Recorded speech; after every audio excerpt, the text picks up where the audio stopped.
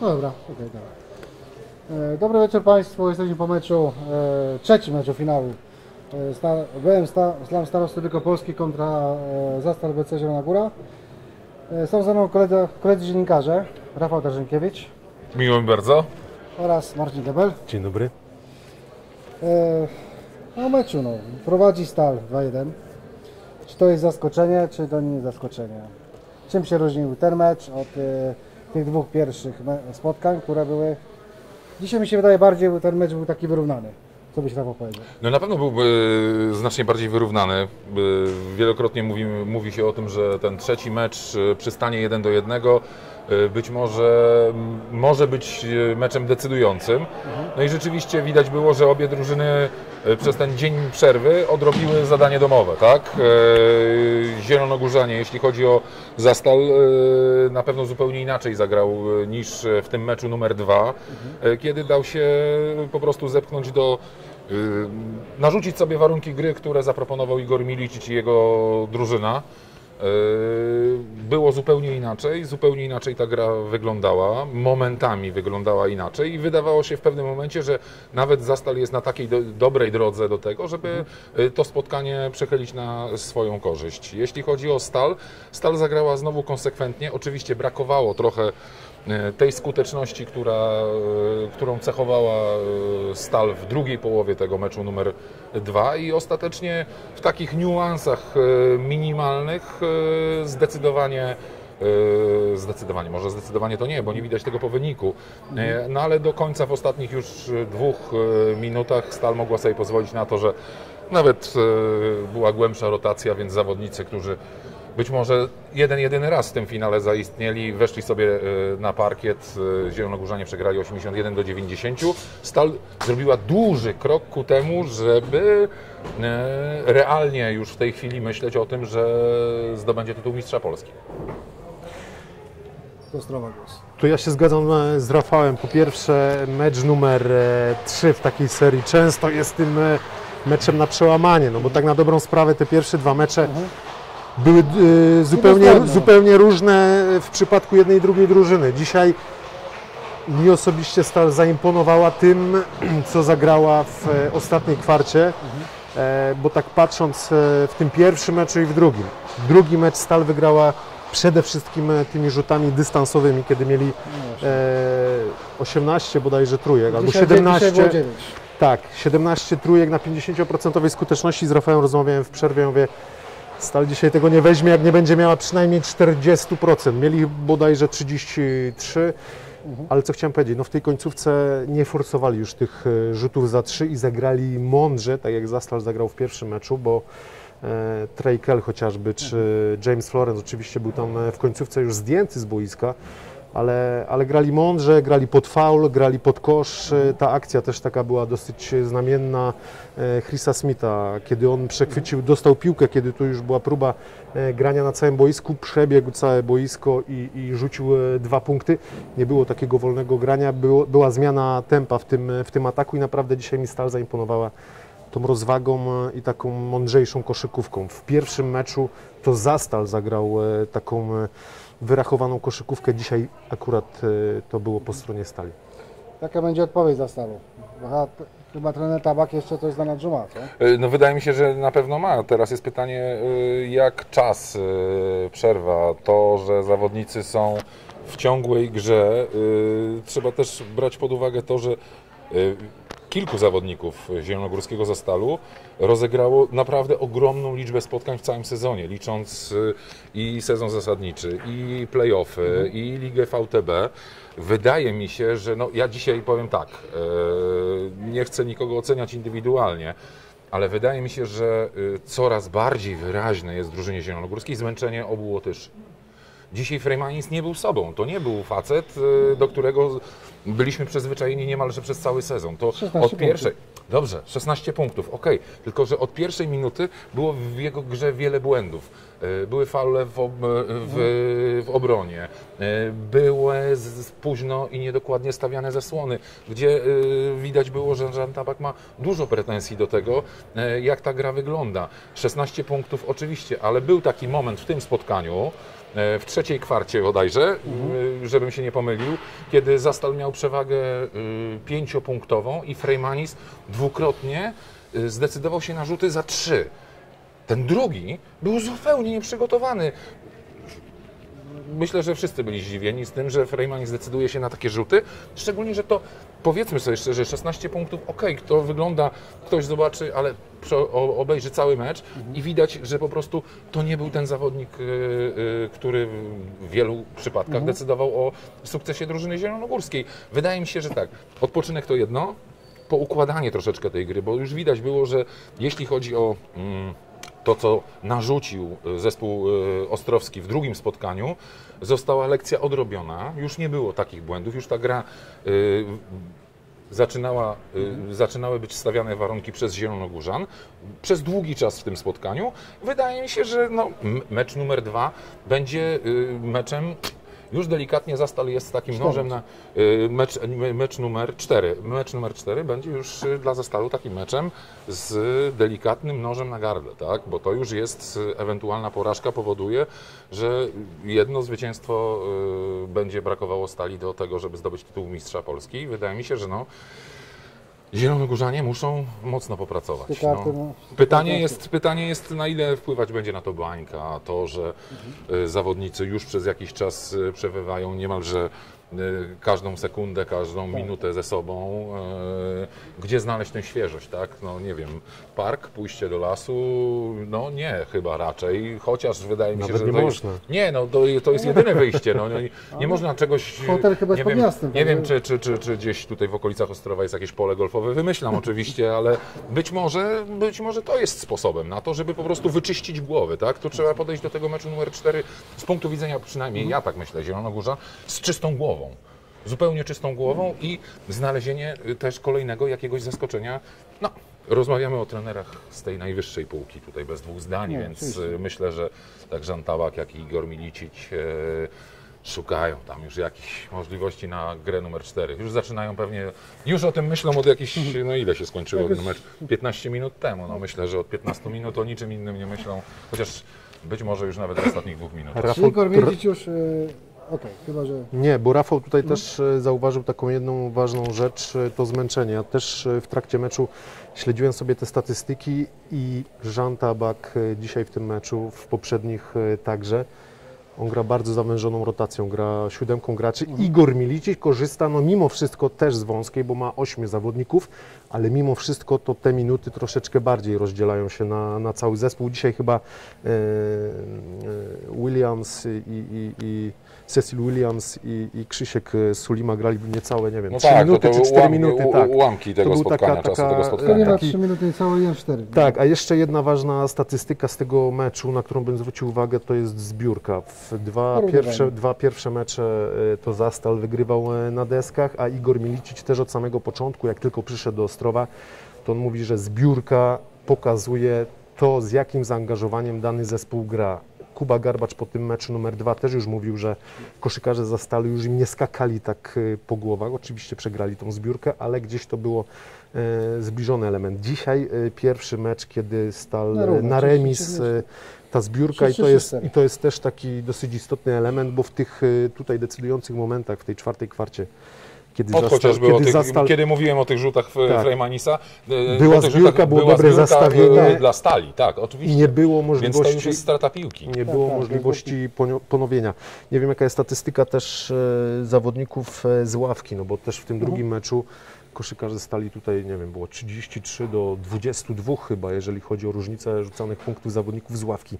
To też pokazuje to, o czym Rafał mówił, że, że tutaj Zastal ma tą bardzo zawężoną rotację i to może się odbić e, w, w meczu numer 4, jak już pytałeś właśnie, jak to, Tak. jak ta odpowiedź może, może wyglądać. Inny problem Zastalu jest też taki, że oni oni z, każdym, z każdą kolejną 16 kwartą. punktów y, rezerwowi zdobyli z Ostrowa, a za Stalu, y, no akurat Koszarek, to był rezerwowy, to Tak. zdobył 10, więc, więc w sumie tych punktów zdobyli więcej. Zdobyli Nie no, porównywanie może być 17. Okej, dobra, to już... e, Nie no, wyrównane, wyrównane spotkanie. Marcin Tak. o tym mówił, że tutaj decydowały te ostatnie 6 minut y, czwartej kwarty. Zastal kiedy- szybko złapał pięć y, przewinień. Tak, Ja się, ja rzuty. się bałem, że tutaj jak była końcówka trzeciej kwarty, Mhm. koszykarze zostali zaczęli trafiać trójki. Ja mówię, oho, to jest ten moment, kiedy, kiedy oni zaczną e, uciekać. Ale Ale, naprawdę zaim, zaim, na tak- zaimponowali mi tym, że, że nie forsowali rzutów za trzy, bo nie wiem, może ze trzy, cztery rzuty oddali za trzy punkty w, Mhm. w ostatniej kwarcie.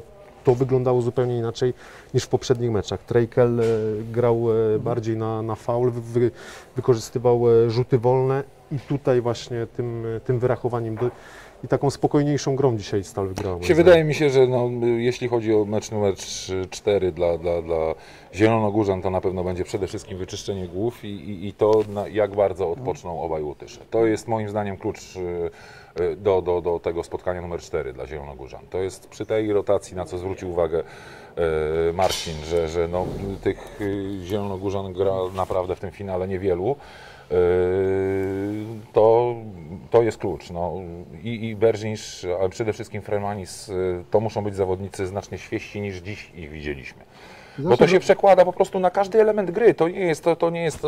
Ja, ja skupiłem się na tym, że to, że to chodziło o te trójki, ale to na każdym elemencie jest. To, to są też zbiórki, to jest też y, dokładność w obronie, to jest system przekazywań, to jest reakcja na różnego rodzaju sytuacje boiskowe. I, I po prostu, jeżeli się tego nie robi na zmęczeniu, bo trudno jest to zrobić, to wtedy to przekłada się na grę całego zespołu. No, ktoś, ktoś musi tę dziurę łatać. Można załatać ją raz, drugi, trzeci, ale w momencie, kiedy dochodzimy do kwarty numer 3 czy 4, pojawia się zmęczenie, więc już nie ma kto załatać tej dziury, szczególnie, że gramy w siedmiu.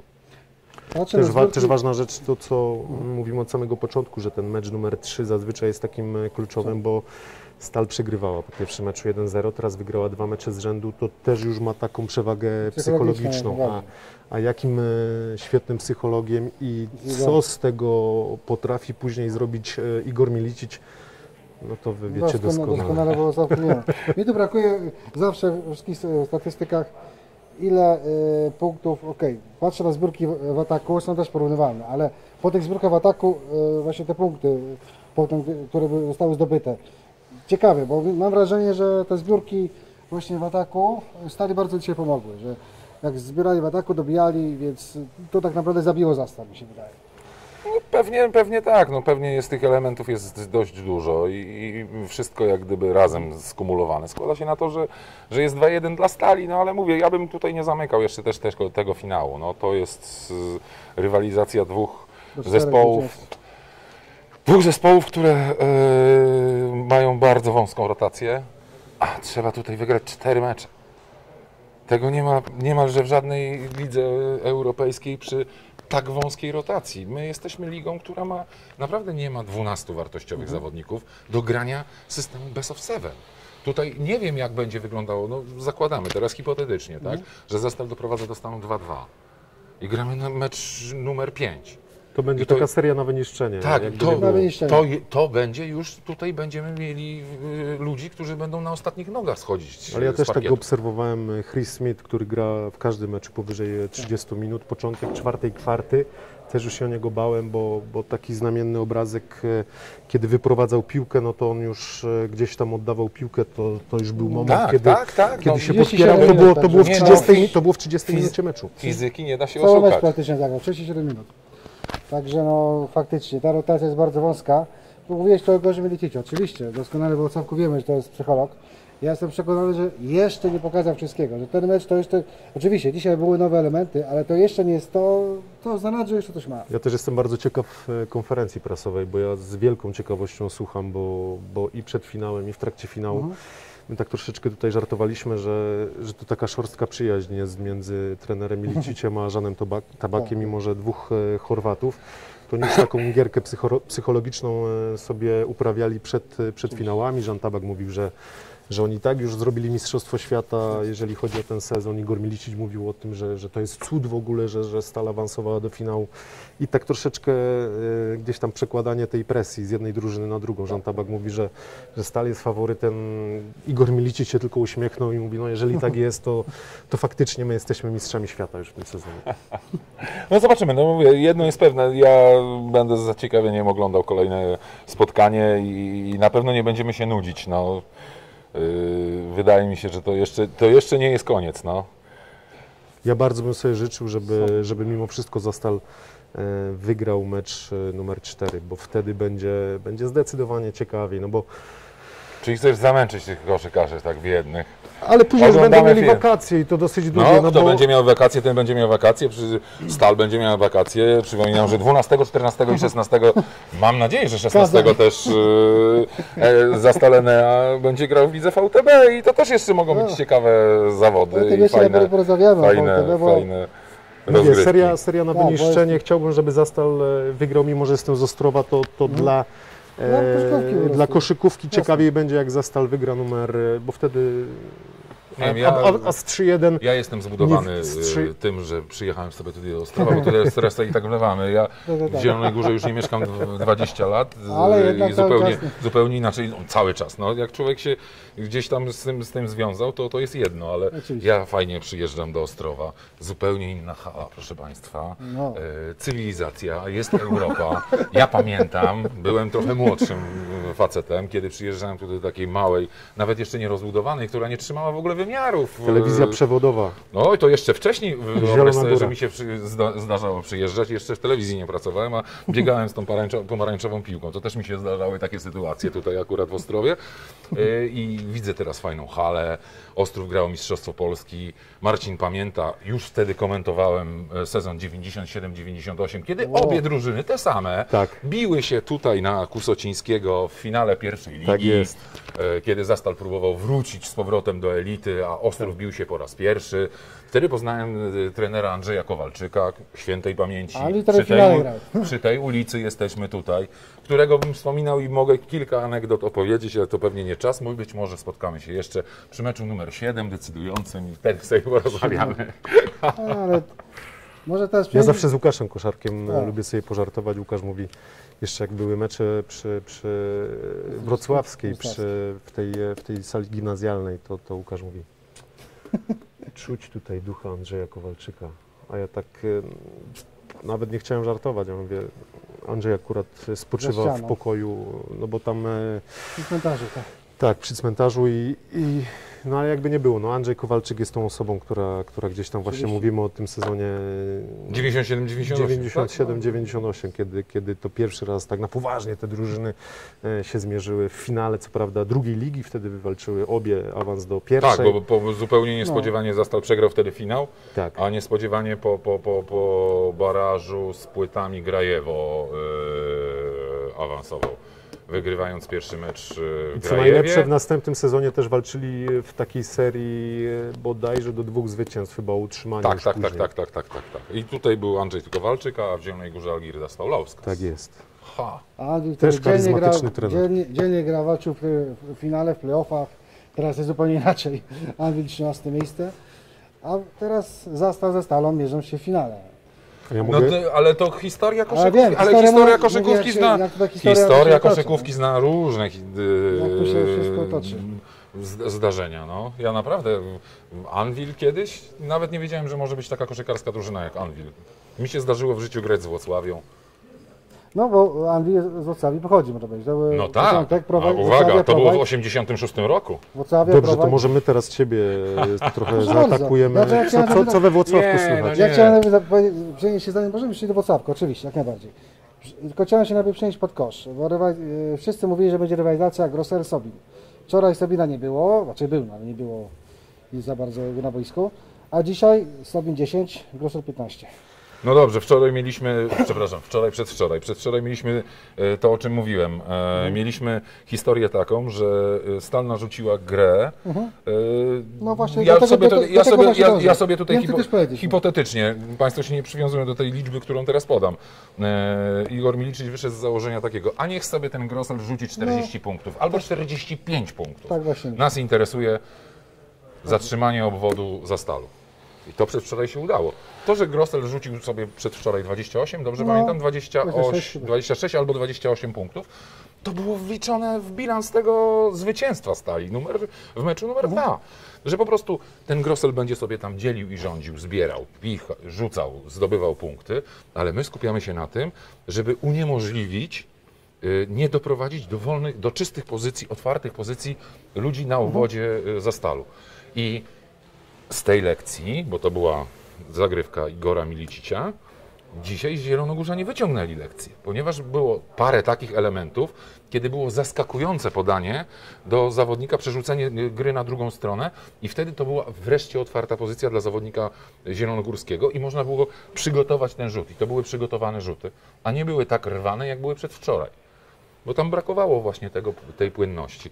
I z tego to wynika, no jest zupełnie... Jeżeli chodzi o tą, Inne granie, no. Jeżeli chodzi o tą rywalizację podkoszowych, to, to ja mam też takie wrażenie, y, Grozel gra od pierwszej do 40 minuty. Josip Sobin, jak przeanalizujemy pierwsze spotkania, to Josip Sobin większość y, punktów w każdym meczu rzuca w pierwszej, w drugiej A kwarcie. potem gaśnie. Później już gaśnie. Dzisiaj chyba jedyne punkty w drugiej połowie po takim błędzie tutaj e, w obronie, kiedy, kiedy został sam na sam z podkoszem, e, rzucił, e, rzucił punkty, ale faktycznie może być tak, że, że Grozel, okej, niech, on, niech on rzuca, ale, ale też obrona się No skupia na, szczerze, że na też nie- Richardzie. Też nie ma zmiennika i nie ma kogo go zluzować, No, no, bo bierzemy, jeżeli bierzemy pod uwagę i znowu wracamy, przepraszam, znowu wracamy, ja nie chcę, do wąskiej nie, do rotacji. wąskiej rotacji i wracamy do tego już y, źle ocenionego przeze mnie y, Freymanisa. Nie ma pomocy od strony Freymanisa.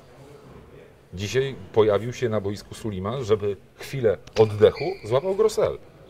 Bo to, że on nie trafia osobistych seryjnie, to mu się nie zdarzało przez cały... To, wyni... to nie wynika z tego, że on zapomniał, jak się je rzuca. To wynika po prostu z jednej, jeśli ktoś grał kiedykolwiek koszykówkę, wynika ze zmęczenia. Po prostu ze zmęczenia. A Ale- to jest Filip Put. A to nie do mnie pytanie. Ja też zadawałbym takie pytanie. Nie, no ale słuchajcie, to jest y, Filip Put to jest czwórka, y, zupełnie inna jest y, ta gra za stalu. Nie wiem, być może należałoby go spróbować, no ale nie gra już od fu, dobrych No 10 właśnie. spotkań, dobrze? A, a do dzisiaj pamiętam, jak Steska Moskwa wymusił fał w ataku, więc nie wiem dlaczego Dobrze, okej, w porządku. No ja też przypomnę, że no, jak będziemy się bawić w takie szczegóły, to mogę powiedzieć, że Kacper Traczyk za, zatrzymał Marka Jamesa, no.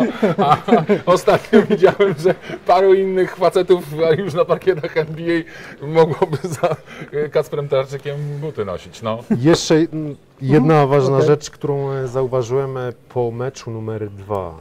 E, Rolo Freymanis na konferencji powiedział, że, że to był taki brudny mecz, ostry mecz i faktycznie wydaje mi się, że mm, Stal też wyciągnęła wnioski pod tym kątem, że oni zagra, grają od tego meczu numer dwa zdecydowanie ostrzej.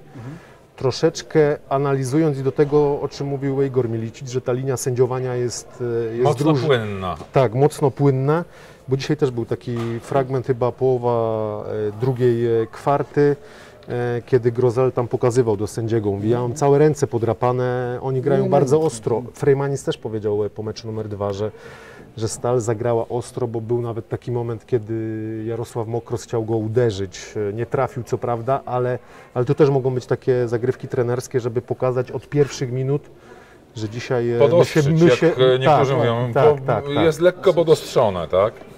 Nie, to Zdecydowanie. musi być ostro. Nic, no ja mówię, Musi być ostro. proszę Państwa, oglądamy mecz numer 4, emocjonujemy się, fajnie jest, jest finał, nie ma Anwilu, szkoda, owszem, ale to wcale nie jest powiedziane, że za rok nie będzie Anwilu w tym finale, więc spokojnie, naprawdę. Najważniejsze, że oglądamy koszykówkę, fajnych dwóch trenerów, paru fajnych gra, grajków. No już. No specjalnie zapytałem tego Gorsela właśnie, bo mam podobne zdanie, że został specjalnie dopuszczony do tego, że masz rzucać i rzucać, a to jest nieważne. Tak samo te wolne rogi mityczne, słynne, to też zawsze były, wynikały z taktyki Igora Milicicia. Podobnie zresztą, podobny myk, jak dzisiaj z Grosselem, zrobił z Florencem w, fina- w półfinale z Anwilarka też. Florence rzucał do bólu ile mógł i tak jeden mecz był wygrany. I potem w następnym meczu już Florensa nie było. Już był wypompowany totalnie, wrócił dopiero w meczu o brąz. Eee, No dlatego mówię, no zobaczymy, no to są, to są faceci na, z najwyższej półki, więc to, to nie będzie tak, Trenerzy, że... tak? y, o, trenerzy, tak, więc y, tutaj nie będzie miękkiej gry. No, może być podostrzone, może być zupełnie coś innego, może być inna gra, no... pff, To jest też, mówię, no, a potem może się, przepraszam za takie y, zupełnie koszykarskie z szatni albo z podwórka może stwierdzenie, no wystarczy w tej rywalizacji tak wyrównanej, wystarczy dzień konia któregoś z zawodników i może pozamiatać mecz, no. Dziwi. Może, no mi, tak, za, no. mi zaimponował w trakcie sezonu y, Igor Milicic, e, ściągając e, Kela? Treja Kela, bo to jest zawodnik, e, którego oferta była pewnie w większości polskich klubów, ale większość menadżerów, trenerów tak spojrzała i mówi, nie no, facet grał gdzieś e, w, w Hongkongu czy gdzieś w Kanadzie, my go wyciągamy z jakichś tam, nie wiem, e, peryferiów koszykówki, a to jest facet, który zrobił niesamowitą różnicę, jeżeli chodzi o ten, o ten zespół.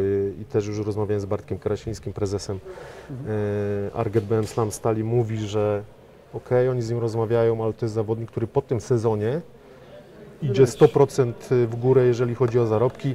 Pytają już o niego kluby z ligi VTB, czy, czy No. z Bundesligi, czy nawet z ligi ACB hiszpańskiej. Także strzał w dziesiątkę i tutaj też e, kunszt i, i to, jak e, rozumie koszykówkę Igor Milicic, bo on takiego No zawodnika tak, tylko że to jest też, szukał. to jest, to, tylko to jest też, też kwestia tego, jak dopasowuje sobie trener zawodników do jakiegoś systemu grania, tak? Zobaczmy, że ja tutaj popatrzymy też, wystarczy popatrzeć na Zastal. Też zawodnicy, jakby ktoś popatrzał, no okej, no skąd ten zawodnik przyszedł, skąd ten zawodnik, a jak został zbudowany i jaką rolę odgrywa Tak, no w bo zespole, Igor Milicic no. przychodząc do Ostrowa miał na jedynce Florensa, który tak na dobrą sprawę nie, Nie jest jest, do jedynką. końca jedynką i miał Greena, zawodników, którzy mają po 1,83 m. Nagle ściąga silnego jak konia e, Treja Kela, wyższego zawodnika, który ma tam 1,93 m. No to, to jest granie Igora Milicicia. No dokładnie tak. Zawsze szukał e, rozgrających długi, po prostu taki... e, Tak, niektórzy żartowali, że to Aaron Broussard 2, tak? No właśnie, no. Bo Jimmy, bo Jimmy Flores niestety, no, no nie jest takie budowy ciała. I jest rzucającym oczywiście. Pytałeś wcześniej, wcześniej mnie tutaj o Anglii. No bo o Cawku na razie, no, trwają rozmowy. E, Głównie to chodzi e, linia Urząd Miasta, e, Czyli jak wszędzie. który ma, który ma teraz ma większość udziału, udziału w klubie, czyli 67%, czyli Urząd Miasta jest właścicielem klubu w tym momencie. No i trwają rozmowy oczywiście ze sponsorem strategicznym, czyli firmą DSA, żeby tutaj do jakiegoś konsensusu Tylko ja się dojść. boję, że jak wyszły na jaw zadłużenia Anwilu z poprzednich Mhm. sezonów, to, to nikt raczej nie odważy się zbudować tam zespołu takiego, który będzie bił się o mistrza Polski, tylko może to być sezon taki, że okej, okej, Eko- ale, ale zag- zagrajmy, zagrajmy eko, tak jak był eko Zastal w poprzednim sezonie, że gramy po prostu, żeby, żeby zakopać e, dziurę budżetową. Nie wiem, takie jest Tak, moje tak może wrażenie. być. Na razie mamy ten sezon, skupmy się na tym sezonie, na fajnych meczach, na tym, że to się fajnie oglądało, żebyśmy dużo o tym mówili, żebyśmy się cieszyli koszykówką i fajną i, żeby się cieszyli kibice Jesteś w poniedziałek? W Zielonej Górze. No niestety praca, Nie? praca, A, praca, a, praca. Ale- Są pewne, są pewne priorytety, czasem... No jeszcze jest czwarty, jest czwarty. O, oczywiście, dlatego ja mam, ja mam nadzieję cały czas, że jeszcze spokojnie poczekają na mnie, że będę mógł tutaj przejechać. No, No. Zastal wygra e, w poniedziałek, no to będzie na pewno szóste spotkanie. Także, no, czego byśmy z chcieli oczywiście. Oczywiście. No. I tej wersji się trzymajmy i fajnie, żebyśmy mogli sobie porozmawiać o kolejnych zawodnikach, którzy fajnie zagrają, odpocznie Frejmanis, Dokładnie. zobaczycie. Bach, będzie trafiał trójka za trójką. Będziemy znowu oglądali Łotysza, takiego jak w kilku poprzednich meczach, rzucającego po 25 punktów i że wszyscy będą wow. Mówili. Igor Milici też ma jeszcze cały czas e, Torina Greena, jakby zawodnika poza, którego zawsze może zmienić, e, co mi się wydaje, że to też by było ciekawe rozwiązanie, kiedy by na przykład w meczu numer 4 zawodnicy wybiegają na, na parkiet, a Jean Tabak widzi Torina Greena zamiast na przykład No to Jamesa wyobraźcie Florensa. sobie, że wraca do gry. y, Pamiętacie, na pewno pamiętacie, bo oglądaliście cały sezon. Pamiętacie y, Cecilia Williamsa sprzed kontuzji w Pucharze Polski? Mhm. No, no i wyobraźcie sobie, że wraca taki Cecil. odmienia losy meczu, przynajmniej jednego, jestem pewien. No ale znowu go nie ma, cały czas go nie ma. Ile dzisiaj sprawdziłeś? Cztery. Nie, no nie, ale nie rozmawiamy. No okej, w porządku. Największy żal jest taki, że kibice w Polsce go na żywo nie widzieli. Ja miałem No z różnych względów dziennikarskich, zawodowych y, tę przyjemność, że go oglądałem na żywo i, i no mówię, no nie wspominajmy faceta, który no tutaj znalazł się, objawił się i myślę, że y, oby ktoś znajdował, tak jak Marcin mówi, y, zawodników takich gdzieś tam wyciągniętych y, z, z koszykarskich. No, no nie, no nie powiedzmy, że w Lundberg to wcale nie, nie tak było, ale no, nie, Nie, nie był to zawodnik, Hiszpanii który, tak. że jak ktoś usłyszał, to wszyscy mówią wow. Nie, raczej jak dobrze pamiętam, to śmiano się, że w Zielonej Górze y, w Zastalu ktoś z, z Falubazu, klubu żużlowego funkcjonuje i najpierw mieliśmy Szweda, y, teraz Duńczyka i czekali na to, kiedy myślę, że w przyszłym sezonie może być tak, że paru Australijczyków w Zielonej Górze się pojawi, no. Ale to tak trochę pół Tak, żartem, pół tak. serio, no. Tylko to jest poza koszykówkę troszeczkę, tak. No, ale to też świadczy o tych e, trenerach, że oni e, potrafią wyciągać e, takich zawodników, gdzie nie wszyscy by na nich postawili. Mhm. On mówi, nie, ten gość pasuje do mojej układanki idealnie, on się u mnie sprawdzi. Niekoniecznie musi się sprawdzić w innym zespole. Ale jeszcze jest druga strona, jest taka, żeby zbudować tego zawodnika, bo zobaczcie, e, jeżeli jesteśmy już przy IFE, e, IFE zbudował się w Zielonej Górze, zbudował się na arenie międzynarodowej poprzez e, VTB, poszedł do CSK i on nie jest tam facetem numer 12, 10, 9, tylko to jest facet, który decyduje o obliczu zespołu, który, nikomu nic nie ujmując, może w tym roku wygrać Euroligę. No. Jako jedyny jest, już tak dobrze yy, kojarzę, to Tak. jest jedyny zespół, który już 3-0 wygrał. yy, czeka na rywali. Pierwszy, no. tak. tak, pierwszy. No właśnie, to jest wśród czterech najlepszych zespołów Europy. Dokładnie. Więc wcale nie jest powiedziane, że facet nie trafił do najlepszego zespołu. No. Ja jestem ciekaw również, co Igor Milicic wymyśl- y, w przyszłym sezonie, jaki skład zrobi, bo naprawdę tam będziemy już mieć szerokie pole do opisu. To Ale już- że on odszedł z tego Anwilu, to ja nie mogę zrozumieć. odszedł. Chciał spróbować swoich sił, po prostu. y, Koronawirus troszkę zmienił też jego plany. No. Igor zdradził taką jedną rzecz, e, bo tutaj była ostatnio konferencja, na której e, Kuba Garbacz i Jarosław Mokros przedłużyli kontrakty i, Mhm. i Igor Milicic powiedział, że celem podstawowym w tym e, okresie transferowym to jest zbudować e, silną kadrę Polaków, no bo, bo jakby nie patrzeć w tym sezonie to jest e, największy problem e, zespołu, Za bo tak na na dobrą sprawę mamy dwóch Polaków, jest Kuba Garbacz, Jarosław Mokros i później jest Szymon Ryżek, który dzisiaj wychodzi, tak jak w poprzednich meczach, na ostatnie 20 sekund, także tak no to właśnie, wygląda. Co jest się ryczki? Że tak On y, po pierwsze dostawał szansę na samym początku od y, Igora Milicicia, no bo też w rotacji jeszcze później Łukasza Majewskiego istniał. Widocznie nie sprawdził się u Igora. Igor y, być może nie lubi takiego typu gracza. Druga sprawa jest taka, Szymon Ryżek w, na początku drugiej rundy miał jakieś problemy z kręgosłupem. Nie grał przez, y, przez 2-3 tygodnie i, i, i nawet mówiło się o tym, że on ma sezon z głowy to też pewnie mogło wpłynąć na to, że, że, że już jest, jest oszczędzany na końcu sezonu. Panowie, fajnie się rozmawia. Potwierdzam. ale Mówiliśmy dam się na czekaj. ja, wiem, 15 że jest świe- ja wiem, że jest święto, Świę- ale święto pracy, nie? Umówiliśmy się, umówiliśmy się na 15 minut, wyszło na chyba 3 razy 15. Już nie, nie patrzyłem na Z przyjemnością, z przyjemnością, słuchaj. E, Okej, o, dziękuję bardzo, że zgodziliście się tutaj e, rozmawiać o meczu na Bardzo, portalu przyje- bardzo przyjemnie nam było. Myślę, że jeszcze takie studio raz nam się Jakbyście uda mieli zrobić. żużel w tym w, we Wrocławku Nie to ma. z Marcinem, to my z Marcinem też, też możemy zupełnie spokojnie o żużlu trochę porozmawiać. Nie, On przedwczoraj nie. przeżywał Nawet mecz. Ostrowi w Bydgoszczy, ja przeżywałem dzisiaj y, wczorajszy mecz falubazu z, z motorem. Z tą i... różnicą wy wygraliście dwoma, my przegraliśmy dwoma. Nie, no my przegraliśmy też przecież. Przecież przegraliśmy z motorem 44-46. Także Zapomniałem. wiesz, Nie spokojnie. oglądałem. Bo w Sławku nawet nie mamy toru niestety. Ża Oj, nic, tam. nic, nie ma Dobrze, więc... żartowaliśmy. nie za... W koszykówce chwilowo nas nie ma, chwilowo Anwilu nie ma, to dajemy tutaj pole do popisu Wam, ale e, no, żużlo macie spokojnie, pole do zabawy, nie, nie przeszkadzamy. nie przeszkadzamy. Wydaje mi się, że we Włocławku by się sprzedał żużel. Mógłby się sprzedać, nie? No, ale by było derby. To już pół no. ligi by było z Kujawsko-Pomorskiego, Mówiłeś nie? o Wrocławiu, Wrocławia się odradza. To chyba czwarta liga, ale są sponsorzy. Kto wie, czy niedługo nie będą grać drugiej lidze. Dobra, bo już no schodzimy, schodzimy z tematu.